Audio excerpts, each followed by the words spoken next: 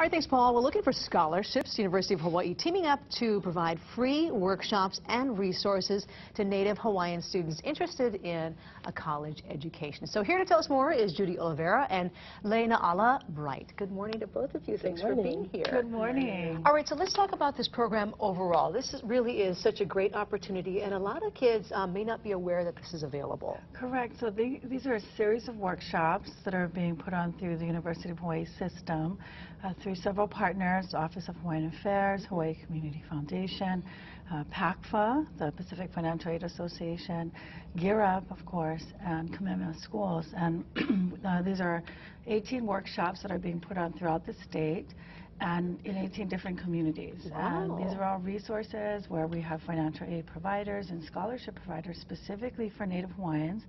They're likely in Ala to actually um, let students know about scholarship opportunities, how to apply for them, where to find them on their websites, when the deadlines are, what kind of criteria you need. Such an expansive program, too. Good for you guys. Well, Leina'ala, I mean, you, you're so involved in so many different levels. Mm -hmm. um, and there's so many things to teach uh, kids right here in our backyard. What, what do we have, first of all, what do we have here in front of us? Okay, well, outside of school, which I've been able to integrate in my academics, um, I'm a La'au Lapa'au practitioner and Lomi Lomi practitioner, and with the help of school, Mahi La'au Lapa'au, which is horticulture of our medicinal plants. So um, in my research with, and I'm, you know, I'm in Hawaiinuiakea, which is Hawaiian studies, but then I do my research in College of Tropical Ag Human Resources. So um, that's where a lot of the horticulture mm -hmm. comes in too. And this morning what I brought to share is my Olena. I love Olena. This is grown aquaponically, so wow. I look at um, the conservation propagation of our medicinal plants okay. and alternative growing methods. And this here? This one is auhuhu, and this is actually a fish poison plant. Mm -hmm. And um, what I've done is actually um, found the levels to use, so it's a fish anesthetic.